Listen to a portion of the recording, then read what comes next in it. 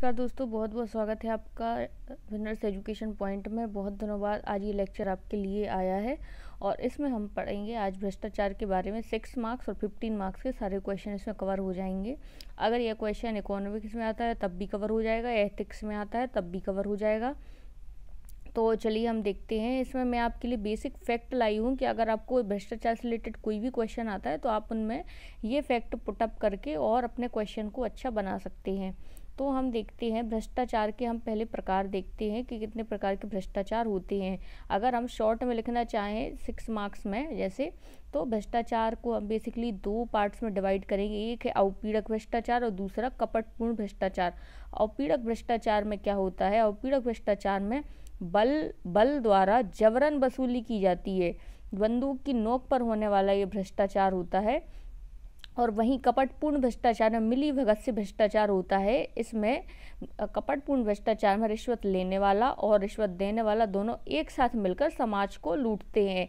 जैसे आपराधिक गठजोड़ है और राजनीति में अपराधीकरण है, ये इसका एग्ज़ाम्पल हो सकता है, जबकि जबरन बंदूक की नोक पर होने वाला भ्रष्टाचार में जैसे अधिकारियों द्वारा लोक सेवकों द्वारा ज़मीन के पट्टों का निर्धारण में निर्धारण ना कर पाना या फिर ज़मीनी विवाद को सुलझा ना पाना, क्योंकि किसी और से पैसे ले लेना और किसी जो गरीब व्यक्ति है उसको परेशान करना तो ये औपीड़क भ्रष्टाचार में आएगा। वहीं कपटपूर्ण भ्रष्टाचार में रिश्वत लेने वाला और रिश्वत देने वाला दोनों ही मिले हुए होते हैं। फिर हम कुछ फैक्ट लिखेंगे। अगर भ्रष्टाचार से रिलेटेड कोई क्वेश्चन आता है तो भ्रष्टाचार एक आदत है। भ्रष्टाचार एक आदत है।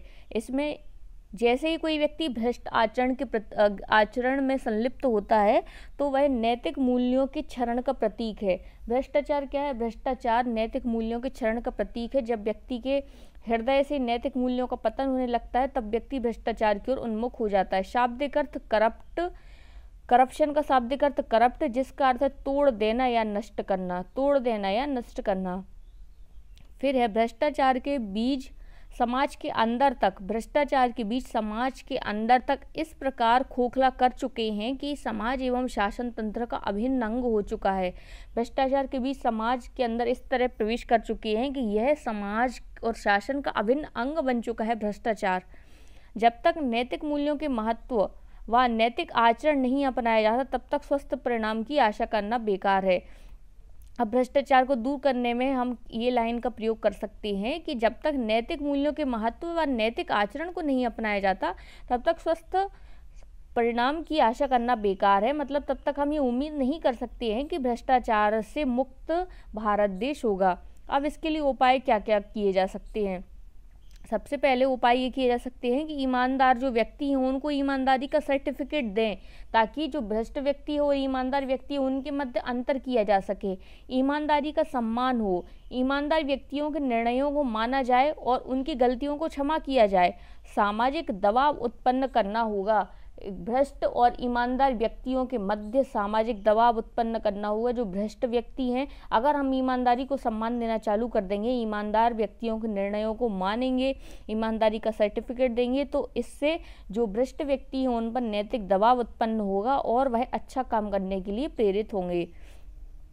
फिर है, इसके लिए जो एक राइटर हैं, रजनी कोठारी इनकी पुस्तक का नाम है भारत का मध्यम वर्ग। इन्होंने इसमें लिखा है कि मध्यम वर्गीय महिलाओं का उत्पीड़क होना पतियों के लिए नुकसानदायी है। मतलब मध्यम वर्गीय महिलाएँ पतियों को भ्रष्ट आचरण करने के लिए प्रेरित करती हैं, क्योंकि उपभोक्तावादी संस्कृति के अंतर्गत, उपभोक्तावादी संस्कृति के अंतर्गत यह माना जाता है कि हम जितना अच्छे कपड़े पहनेंगे, जितने अच्छे गहने पहनेंगे, हम जितना दिखाएँगे, हमारा स्टेटस उतना ही अच्छा होगा। तो एक लाइन और लिख सकते हैं कि भ्रष्टाचार आज के समाज में स्टेटस सिंबल बन चुका है। स्टेटस सिंबल बन चुका है। फिर राज्य के अभिभावक हैं, प्रशासनिक अधिकारी और तो ये देखिए प्लेटो है प्लेटो तो प्लेटो एक बात कहते हैं, प्लेटो ये बात कहते हैं कि जो प्रशासनिक अधिकारी है, वह राज्य के अभिभावक हैं। अतः वह परिवार ना रखने की बात करते हैं राज्य के अभिभावकों को, क्योंकि जब व्यक्ति का परिवार होता है, तब परिवार के अनुसार उसकी इच्छाएँ बढ़ती हैं, उसकी ज़रूरतें बढ़ती हैं और महिलाओं को तो उत्पीड़क माना गया है। अगर प्रशासनिक अधिकारी का परिवार नहीं होगा तो ना तो उसमें इतना लालच होगा और ना ही वह भ्रष्ट आचरण करने के लिए उत्तरदायी होगा। फिर है नेक्स्ट दुराचरण के लिए दंडित किया जाना चाहिए और अच्छे आचरण के लिए पुरस्कृत किया जाना चाहिए।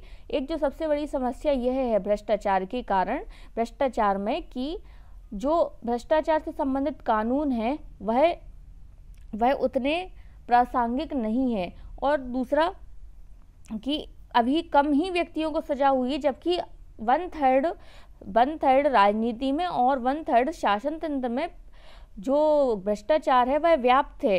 अंदर से, अंदर तक यह वितरित हुआ है मतलब प्रसारित हुआ है भ्रष्टाचार का आचरण। तो अभी इनमें से कुछ ही व्यक्तियों के लिए सजा हुई है और जो सजा का प्रारूप है, वह भी कठोर नहीं है, जिसके कारण जो लोक सेवक हैं, वह भ्रष्ट आचरण करने में भयभीत नहीं होते हैं। फिर भ्रष्टाचारी समाज इससे ज़्यादा निजी हित को अधिक महत्व देते हैं। जिस प्रकार एक गंदी मछली सारे तालाब को नष्ट कर देती है, उसी प्रकार कुछ भ्रष्टाचारी व्यक्ति सारे प्रशासन तंत्र को भ्रष्ट दर्शाते हैं। पूरा प्रशासन तंत्र भ्रष्ट नहीं है, लेकिन कुछ ही व्यक्ति जो इस प्रकार का कृत्य करते हैं, जिनकी वजह से सारे प्रशासन तंत्र को भ्रष्ट आचरण का सामना करना पड़ता है और यह भ्रष्टाचारी समाज हित को ज़्यादा तरजीह ना देकर निजी हित को ज़्यादा महत्व देते हैं। फिर भ्रष्टाचारम नाना रूपम मतलब भ्रष्टाचार के कई रूप हैं। केंद्रीय सतर्कता आयोग द्वारा भ्रष्टाचार के निम्न तरीके बताए गए हैं। जैसे भ्रष्टाचार में निकृष्ट प्रकृति के कार्यों की स्वीकृति, जैसे टेंडर में टेंडर में ऐसे माल का इस्तेमाल करना जो कि निकृष्ट प्रवृत्ति का हो।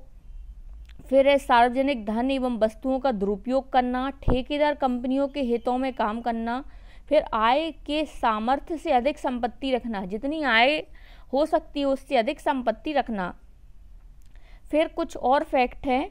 एशिया महाद्वीप में भ्रष्टाचार व रिश्वतखोरी में भारत पहले नंबर पे है। एशिया महाद्वीप में भ्रष्टाचार व रिश्वतखोरी में भारत पहले नंबर पे है। ट्रांसपेरेंसी इंटरनेशनल में भारत की रैंकिंग अस्सीवें स्थान पे है। अस्सीवें स्थान पे है मतलब भारत में बहुत व्यापक स्तर पर भ्रष्टाचार का फैलाव है। तो दोस्तों, आज के इस लेसन में इतना ही।